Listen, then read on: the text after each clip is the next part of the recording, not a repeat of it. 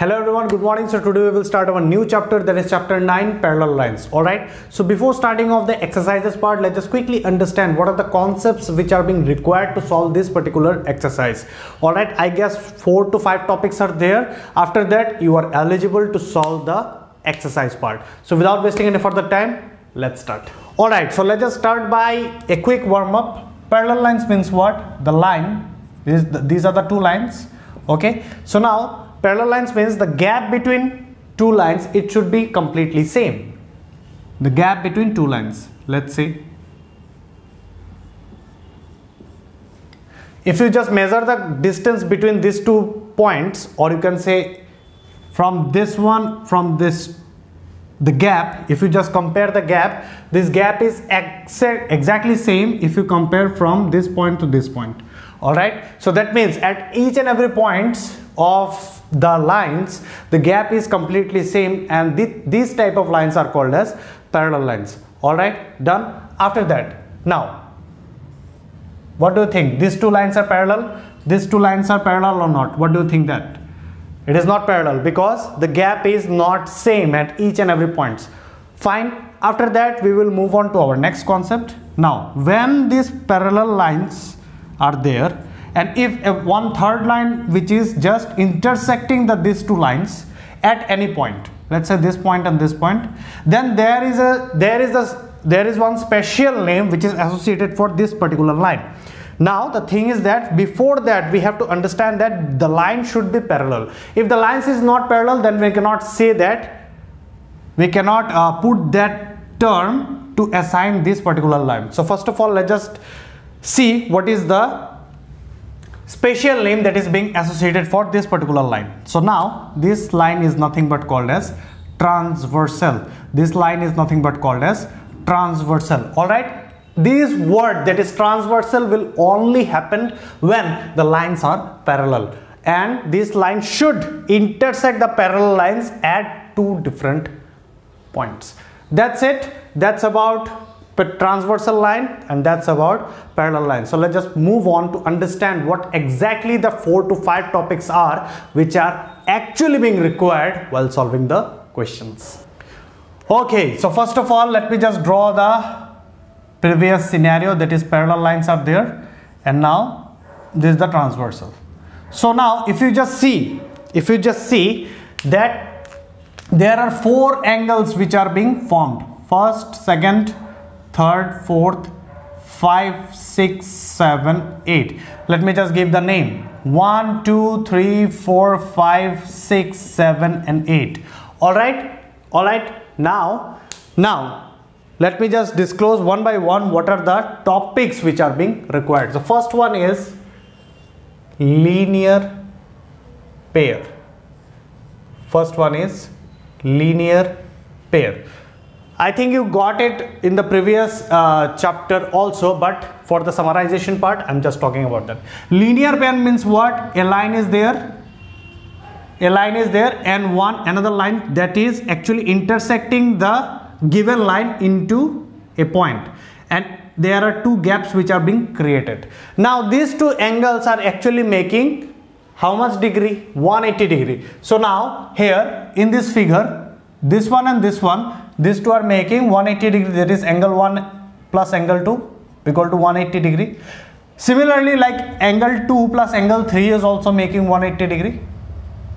Similarly angle 1 plus angle 4 is also making 180 degree. If you just see this as a line then 2 plus 3 that will give us 180 degree. Likewise 1 plus 4 it is also giving 180 degree. Like that way 3 plus 4 is also giving us 180 degree and likewise all the given points uh, means pairs are there. For instance the last pair should be 8 plus 7 which is also giving us 180 degree and that's about linear pair. I hope you got it. What is actually about linear pair? Let's just move on to our next concept which is called as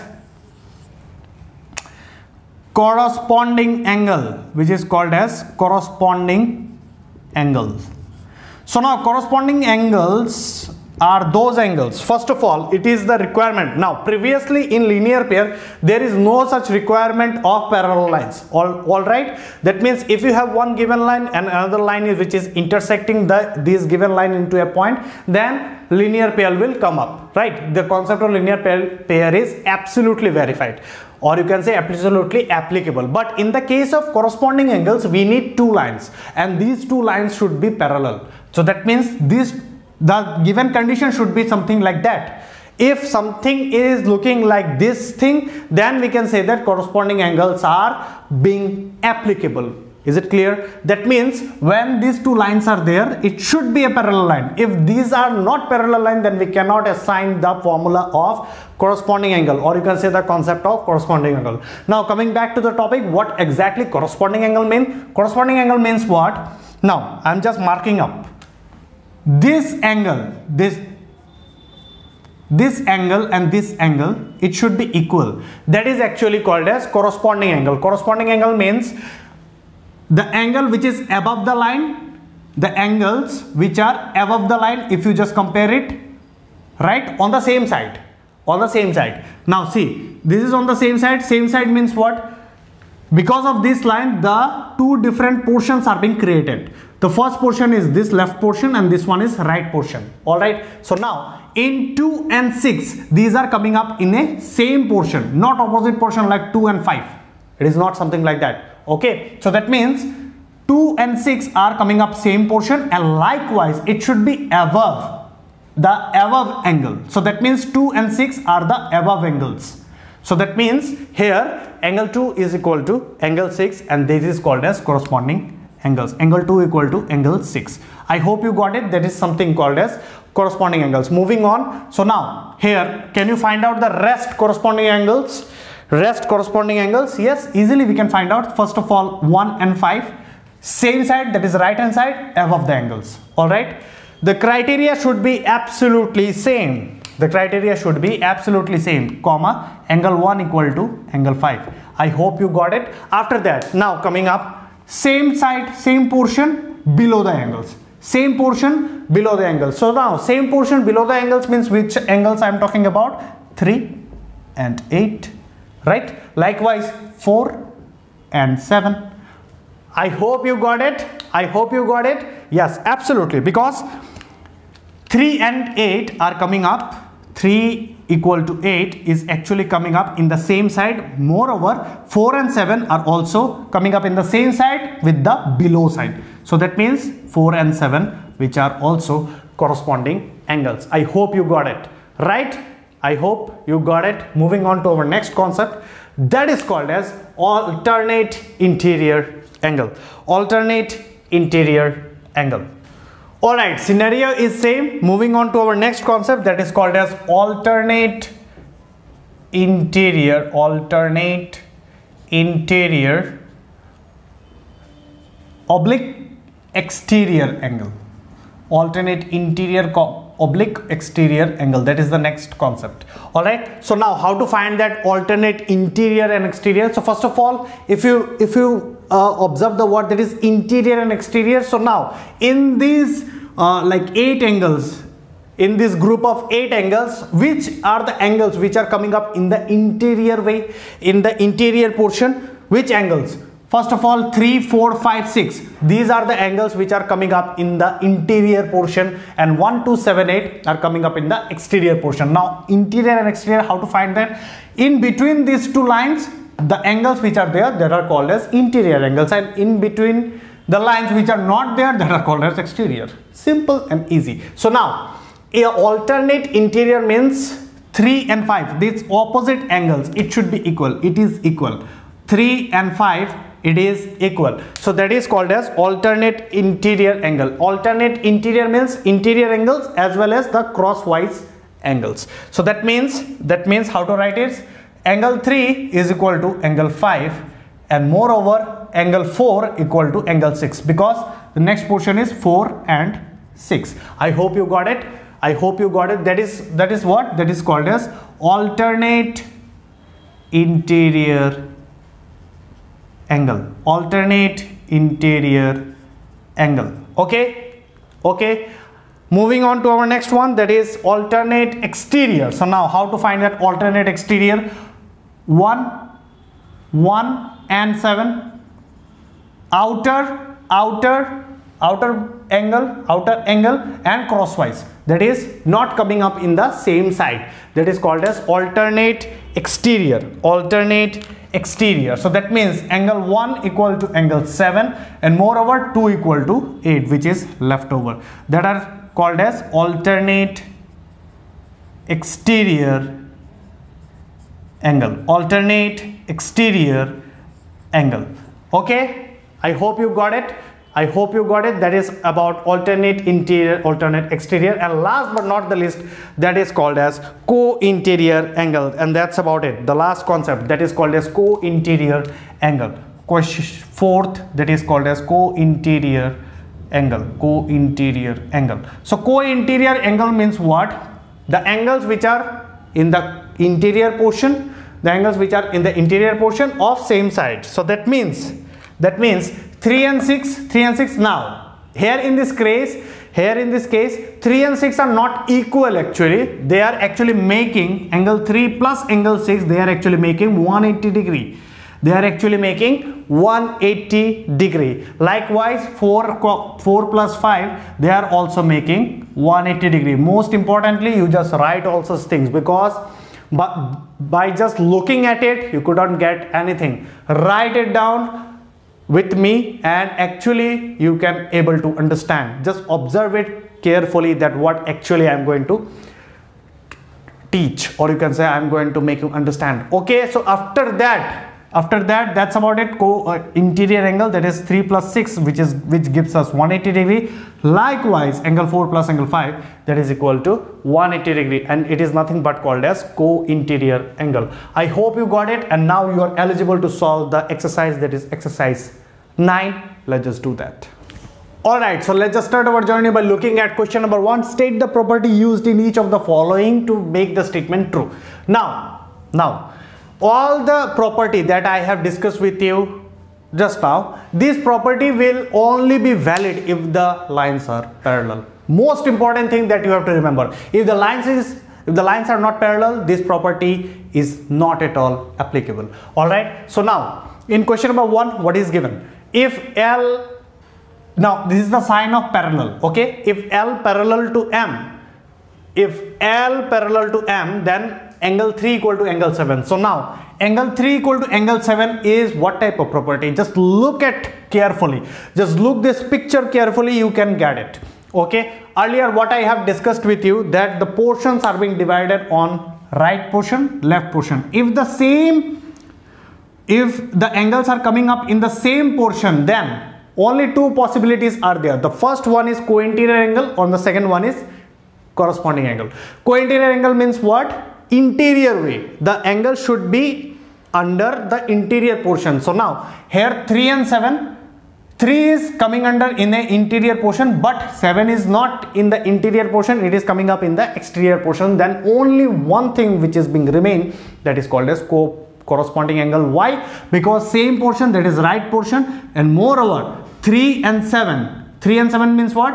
Below below the portions. If you just observe it 1 and 2 are above and 4 and 3 are below. Like that way 8 and 7 are below. So that means 3 and 7 are in the below portion and moreover having on the same side. So that means 3 and 7 that is equal and moreover it is equal for which property? For which property? Corresponding angle. I hope you got it. All right corresponding angle is the first answer. Moving on to our next question that is that is question number 2 question number 2 is saying that if angle 3 equal to angle 5 so now if angle 3 equal to angle 5 angle 3 equal to angle 5 means what? This one and this one. Okay? So now if 3 equal to 5 then l parallel to m. 3 equal to 5 means what? Now look at this careful carefully. 3 and 5 are coming up in a in which portion? Interior portion with crosswise. Crosswise. That actually signifies us for which property alternate interior. Alternate interior means what? Interior angles along with crosswise.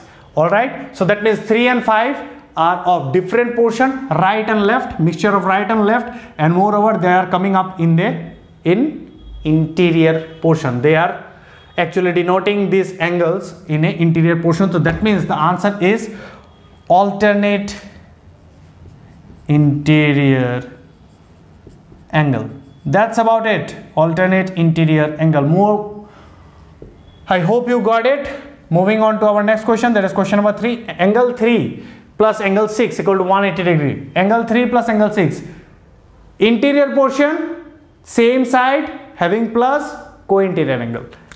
Co-interior angle. All right likewise if you just observe the property then you can crack it very easily. All right that's why i told you for several times and as well as i will con keep continuing this uh, this statement that focus on the board as well as focus on my words. All right moving on to our next question that is question number 3 all right so let's just move on to our next question that is question number three. Question number three saying in figure 3 ab parallel to cd stop. Ef intersects them at p and q respectively. If angle 1 equal to this find all other angles.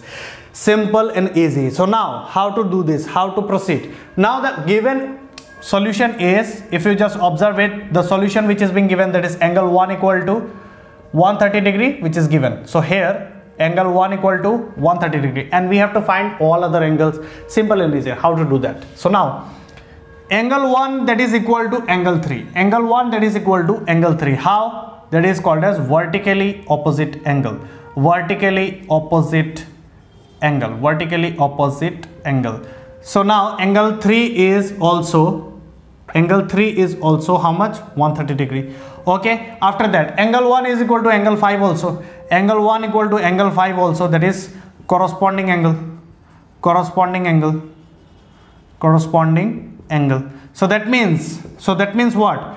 Angle 5 is also 130 degree. All right? So that means i got the two values. So that means uh, angle 3 and angle 5 it is now covered. After that moving on. So now angle 1 angle 1 plus angle 2 that is equal to 180 degree. So now angle 2 is equal to how much? 180 degree minus angle 1 so this is coming up under linear pair this is coming up under linear pair how to do that? Angle 1 plus angle 2 it becomes 180 degree because coming up under linear pair. Okay? Togetherly they are forming linear pair. Just now i have discussed with you. So now angle 2 equal to how much? Because the angle 1 value is 130 degree. So 180 degree minus 130 degree it is nothing but 50 degree. Okay? Done.